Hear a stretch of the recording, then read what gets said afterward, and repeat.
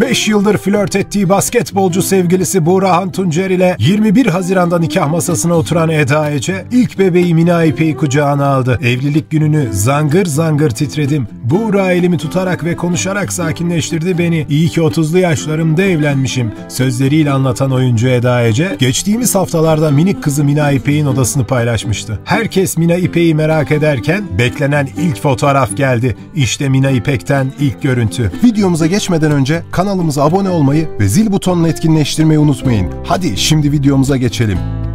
5 yıldır flört ettiği basketbolcu sevgilisi Buğrahan Tuncer'le 21 Haziran'da nikah masasına oturan Eda Ece ilk bebeği Mina İpek'i kucağına aldı. Evlilik gününü zangır zangır titredim. Buğra elimi tutarak ve konuşarak sakinleştirdi beni. İyi ki 30'lu yaşlarımda evlenmişim sözleriyle anlatan oyuncu Eda Ece geçtiğimiz haftalarda minik kızı Mina İpek'in odasını paylaşmıştı. Herkes Mina İpek'i merak ederken beklenen ilk fotoğraf geldi. Aynı zamanda aile arasında düzenlenen bir törenle nişanlanan Eda Ece 21 Haziran'da nikah masasına oturarak evet dedi. Nisan ayındaysa çiftten mutlu haber geldi ve Eda Ece ilk bebeği Mina İpek'i kucağına aldı. Eda Ece mutlu haberi sosyal medya hesabından Mina İpek 0404 2024 Mina'mız ay sonunu bekleyemedi. Aniden gelmeye karar verdi. Kendisine çok özel bir günde seçmiş oldu. Arayan soran yazan herkese teşekkür ederiz. Bu postu koymam bile 15 günümü aldı. Artık bir dakika boşum Ama o her şeye değer. Ben şimdilik paralel evrendeyim. Tekrar görüşene dek hepinizi öpüyorum. Güzel dileklerinize tekrar teşekkür ederiz. En büyük mutluluklar sizin olsun sözleriyle duyurdu. Eda Ece sosyal medya hesabından sık sık tatlı sistemlerde bulunmaya devam ederken herkes Mina İpek'i merak ediyordu. Ancak bu merak Eda Ece'nin paylaşımıyla bir nebze olsun son buldu. Oyuncu Eda Ece yüzünü göstermeyi tercih etmese de Mina İpek'ten ilk görüntü böylece gelmiş oldu.